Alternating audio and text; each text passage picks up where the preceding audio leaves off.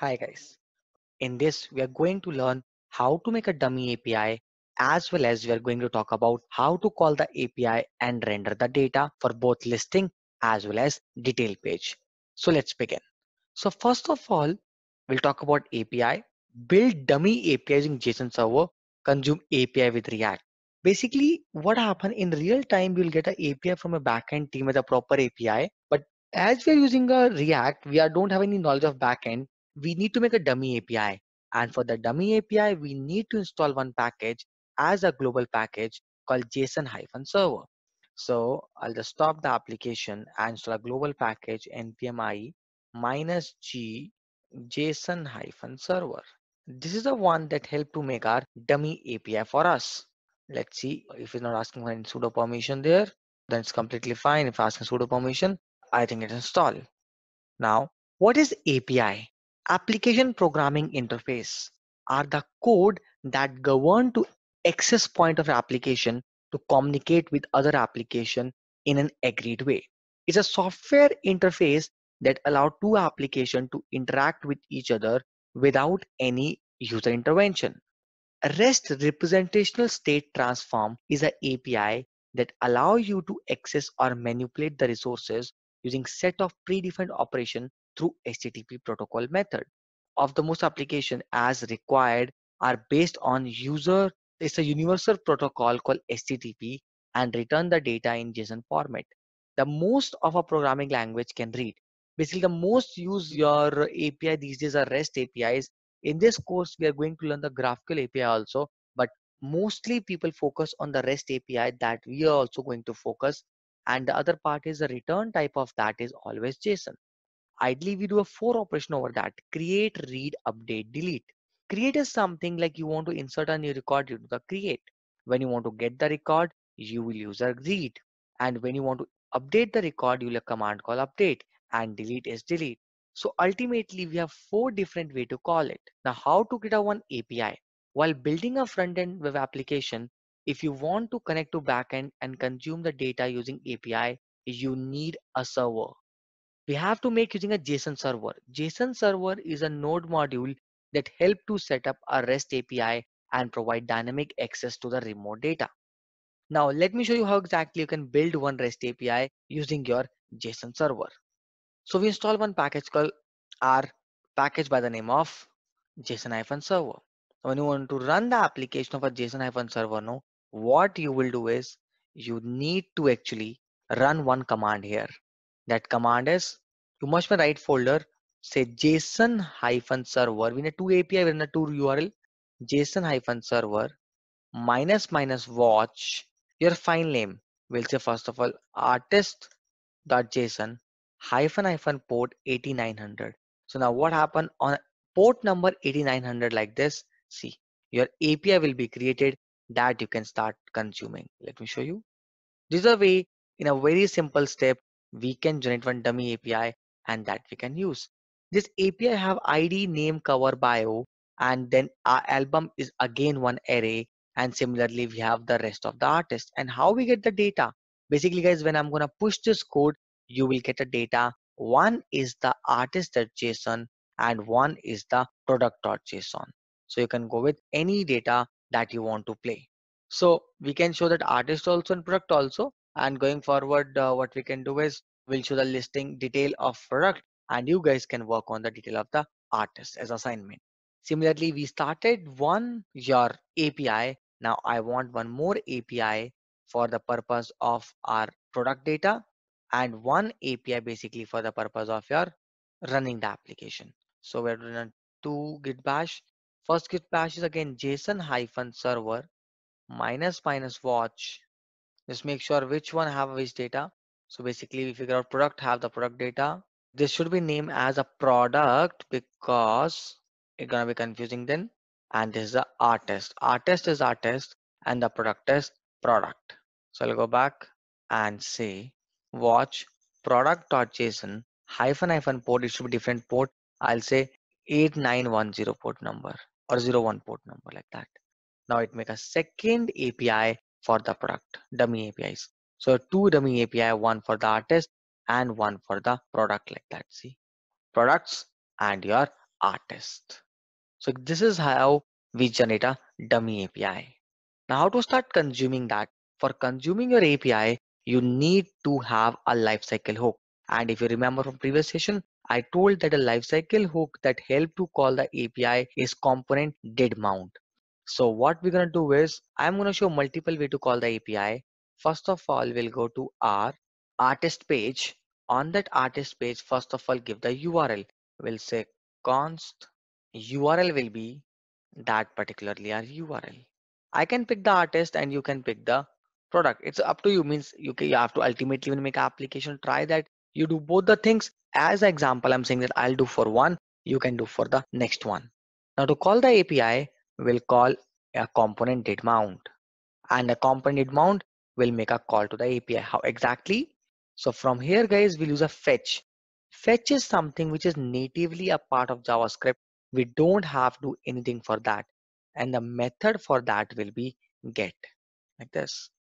And the method should come idly in the curly braces like this because that's another second parameter we're sending. Now we had a promise here. Why a promise? Because when you call the API, who will tell you that you got the data? We write dot then in that we get a response arrow will format that into the JSON and after that we'll set in the state. So we should define one constructor here. In this constructor, we can receive the props or not. It's up to the application and the super also receive the props. After that, we can declare this. We'll say this dot state equal to this dot. We'll say artists colon. Initially, we can keep it as a blank. And now when we call the API here, we'll say dot then in this dot then we'll write we'll get suppose post any keyword I can use arrow curly braces this dot set state of what of your artist to post like that now got the data ideally in real time what we do is once we receive the data we'll not directly going to display the things here only we'll make a separate functional component will which will do the listing part for us so let's play with that so we'll make one listing component here. I'll say artist listing.js. That will be a functional component which take the state and render it. Now in the listing component particularly, we'll import React from React. And now each item that we have have to go for a detail page.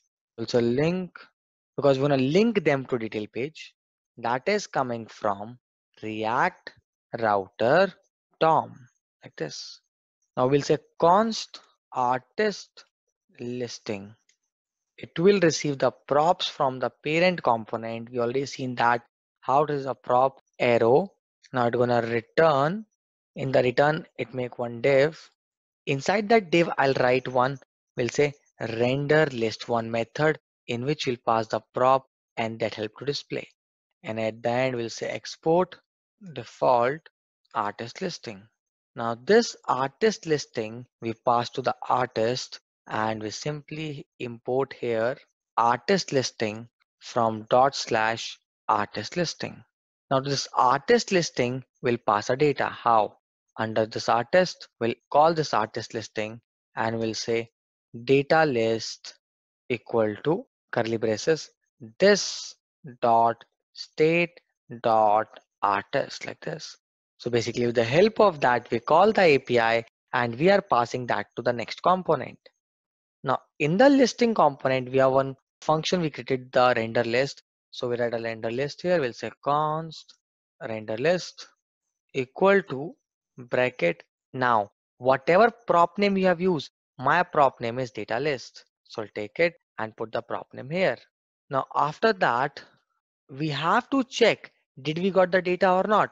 Because if data is not there we should put the loading icon also there. If data is not there how we can do that? I'll show you. We'll say data list. In this we're gonna play the logic and we're gonna return and use a map operator to iterate over that. We'll say dot map. Map will get the item. Item will be arrow and then the curly braces and from there we'll return. In this return we'll give the link to now we'll define the route here. We'll say backtick slash artist and artist id will say dollar item dot id this will give me the so basically we iterating over my array using a map operator and the link will be dynamic when somebody click on the particular artist it will try to go to detail of that artist.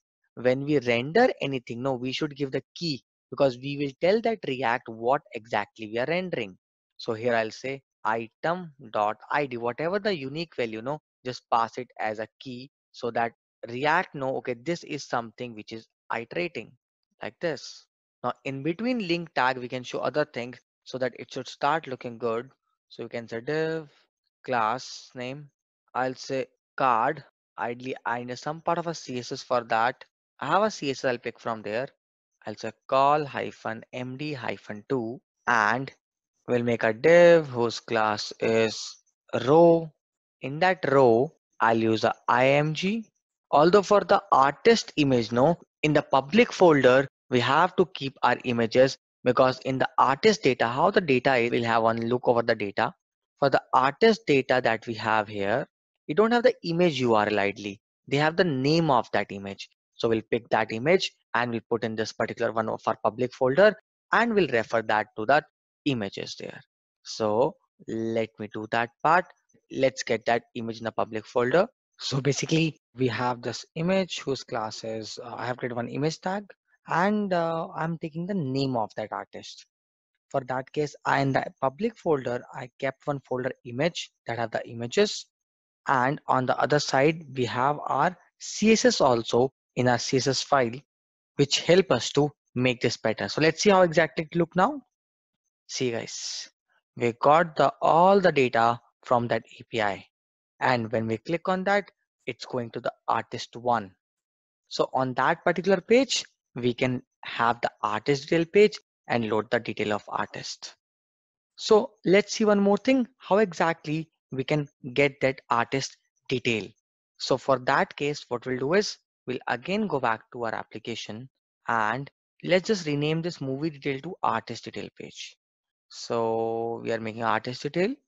We'll say here artist detail. And in the routing also let's manage the detail for the artist. Plus we'll just put it below we'll use exact with that. And this will be artist detail. That's also coming from artist details. Similarly we'll put, put it here. Now in the artist detail page we are going to receive that id anyways. And this id if i pass on my next api call so let's go there. We're getting that change the name to artist detail. And the same id that i'm getting i can pass to my next api and there i can get the detail of that item. So how to make a call? The other way that we can make a call using axios also. So axios is another package. So first of all i have to install that package. I'll write control c npm i axios. I have multiple way to call that. So designing part will not cover. We'll just see how exactly we can call it. I'll say import Axios. I'll show the data we'll receive and then later on you can show the data in whatever way you want from Axios. Now to make a call to the API, anyways, we have to go with a component did mount. In that component did mount, we get the, this time we get the ID of that particular artist. So we'll say Axios dot get First of all, we need a URL that we have to call. So we'll go to our artist page where we have the URL. So that URL we need because now we'll say slash one. So what it do, it will only give me the detail data for that particular ID.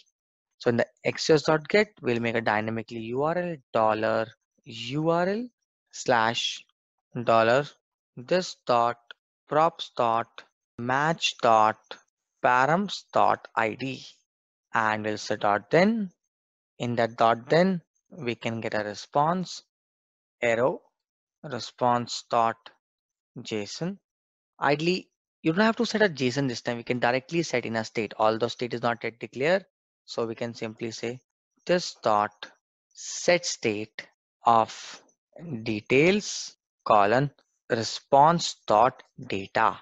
So here we can have one this dot state dot and say details.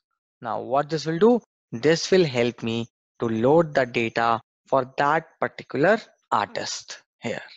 And then from state, we can display.